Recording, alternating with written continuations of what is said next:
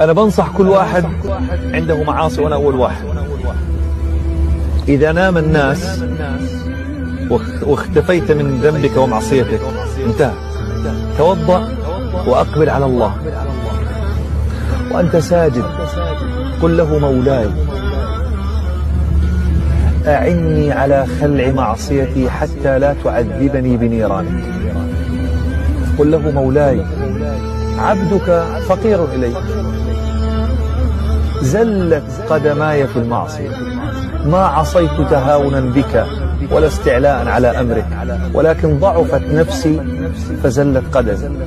فخذ بيدي إليك. مولاي أنا عبدك الفقير أنا عبدك المخطئ. لا تضرك معصيتك ولا تنفعك طاعتك فأقبل بقلبي عليك.